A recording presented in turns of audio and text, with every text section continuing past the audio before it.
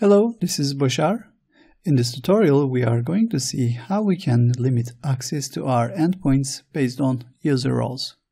Again, we have our code repository right here, and there are three tags for this repository. This bcrypt one is for my tutorial about how we can introduce bcrypt password encoding to our application and the security basics are basically showing how we can introduce Spring Security to our application and this role-based security is the, the code we are going to do in this tutorial. So let's clone this repository and start building an application with role-based authentication. So let's clone the repository right here and opening this folder in Visual Studio Code. Now let's switch to the uh, security basics tag. We are going to build our tutorial on top of this tag. And let's check the project. Here we have the POM.XML. The Spring Boot version is 2.4. Java version is 11. We have data.jpa we have Spring Security, we have the Spring Web, and we have the developer tools, which is automatically restarting our application in every uh, change we have in our files. And we have the H2 database, the Lombok, and the test dependencies. And if we check the source code of the project, we have this uh, the main class here and we add this uh, REST endpoints for get mapping. One is for the security, the other one is for public.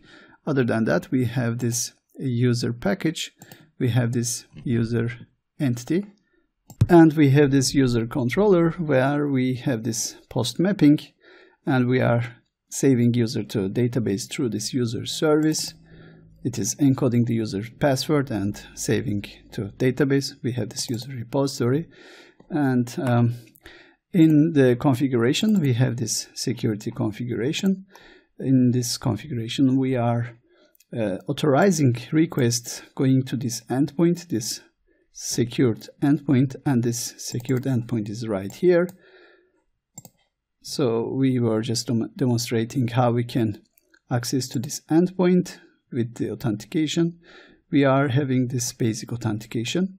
And when we are finding the user from database, we were using this user auth service. And this is loading the user from user database, user table, then returning this user details. Uh, when we were doing this part, we have uh, incorrectly edit this uh, authority list. Now in this tutorial we are going to fix this part and we are going to use this part. Uh, but uh, let's start like this. Let's update our user entity first. Let's say this user will have role in it. So it will have a private field, let's say it's string, and uh, the field name is role. For this case, we are setting a user has only one role, but um, in implementations, in other implementations, a user might have multiple roles. Uh, so this is just for the for this case. It doesn't mean that a user only has one role.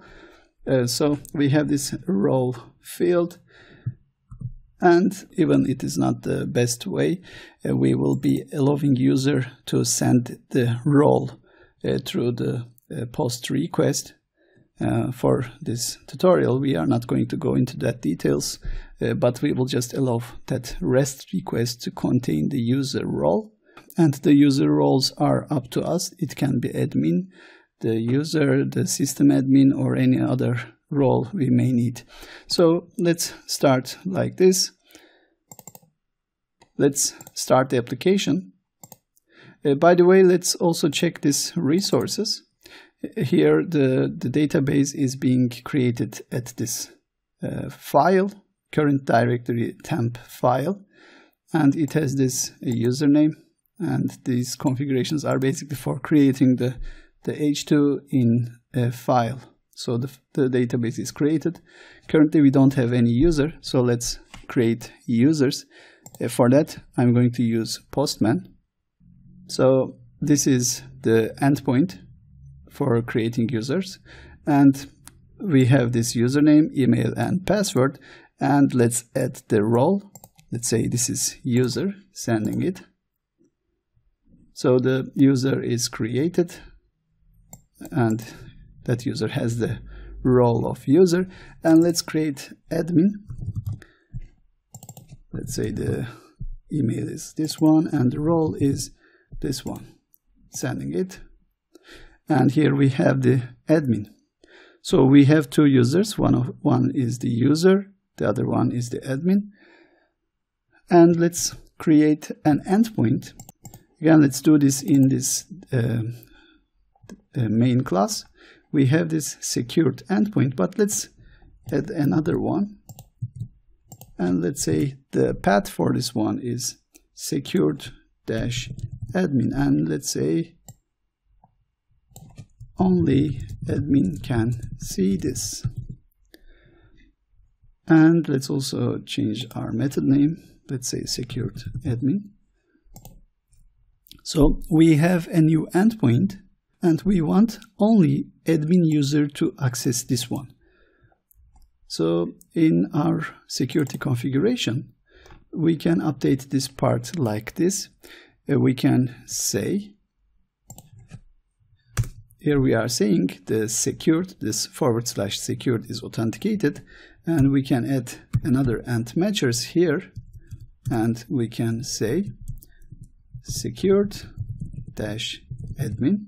This is the path, this one. Secured admin can be accessible by user role, and we define the role like this, has any role and the role is admin. So only users having this admin role can access to this endpoint. Now when a request is received, uh, the user is loaded in this user auth service and this user auth service is finding user and returning this user details because this method is looking for this uh, this type of object and here we are creating the user roles and we do that uh, like this hard coded. Uh, but uh, let's change this. Now the user has the field of, let's say in DB get role. We will use this one. Uh, but the, there is a naming uh, convention for the uh, roles and it starts like this.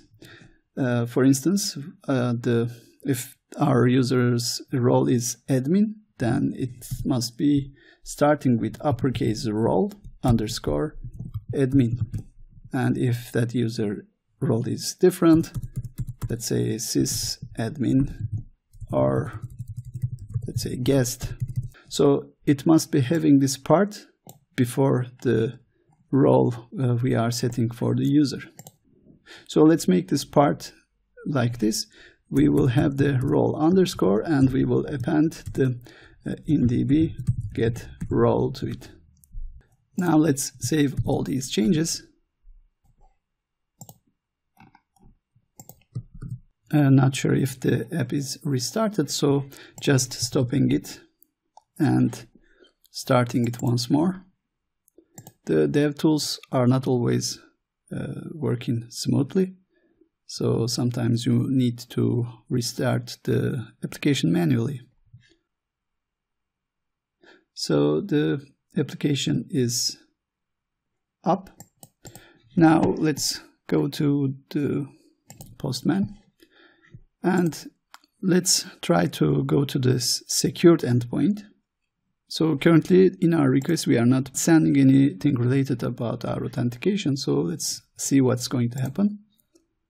So we are receiving 401. And if we go to secured admin, again, we are receiving uh, this 401 response. Now let's make our request with the user. So we are selecting the basic authentication and this is user and this is the password, sending the request. Here we were sending our request to secured admin and we are trying to access with this user so we are receiving this forbidden. But if we go with the admin user,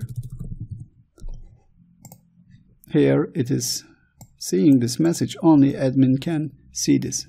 So that's how we can add user role to security. We can achieve the same result with different implementation and let's practice that one too. So here in the security configuration, let's remove this part.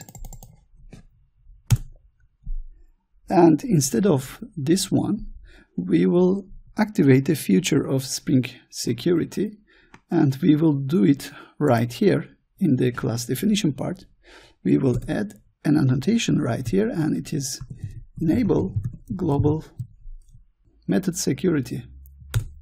And this annotation is having a parameter and that is pre post enabled and let's set this one to true. Now we can define the security rules on method level.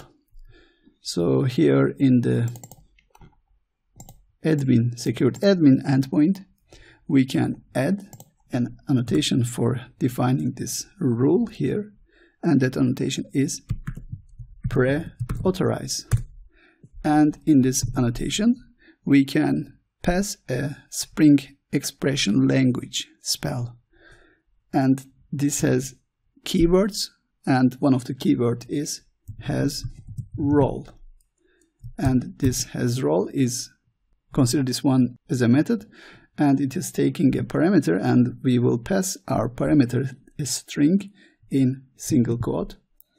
And we are looking for role underscore admin in this one we pass role in the has role uh, function but when we were setting the uh, the role here in this configuration we didn't have to add the role to the part here so after ant matchers, we were saying has any roles. We were just setting this has any role to like admin. We didn't have to set role underscore admin. But in this uh, expression, we have to say that this must be role underscore admin. Now let's save all these changes. Uh, again, I don't see it is restarted, so just stopping it and starting one more time. Again, going to Postman, and this is the secured admin. We are admin user. Let's send a request. We are receiving 200, okay, and we can see the message. And if we go with the user, we are receiving this 403 forbidden. The message payload is changed in this one. We are still seeing 403, but the payload is changed. So there are behavioral differences between this method level uh, method level authorization uh, and this uh, configuration uh, right here.